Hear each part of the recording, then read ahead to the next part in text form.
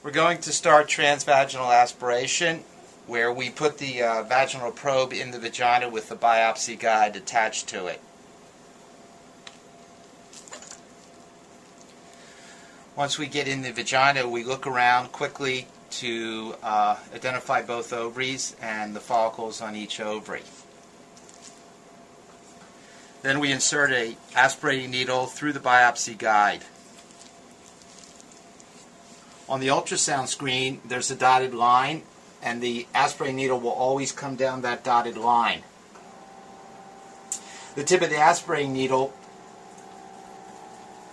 is echogenic, so we should be able to see it on the uh, ultrasound machine.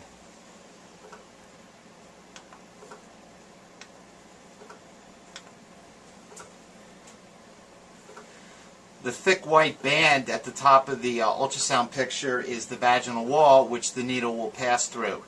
Generally, for these procedures, the patient is under conscious sedation.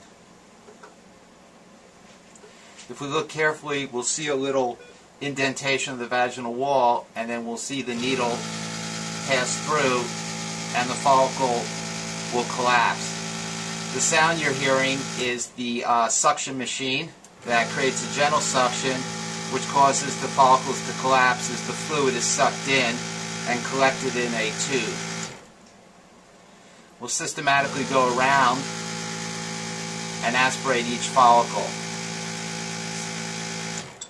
Each follicle should have one egg in it, so if we're aspirating more than one follicle at a time, we may have two to three eggs in each tube.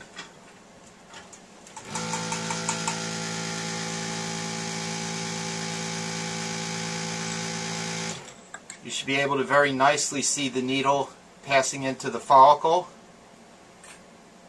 and then the follicle collapsing.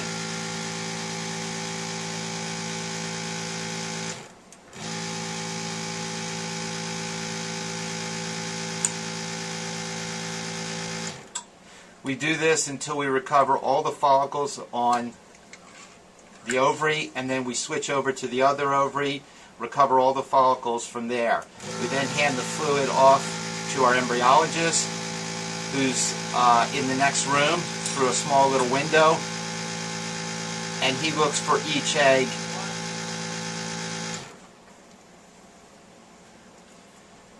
Once he recovers all the eggs, he puts them in insemination media and puts them in the incubator and checks in five to six hours for maturity, and then they undergo insemination either by putting sperm directly into the dish or by ICSI, where a single sperm is injected into a single egg.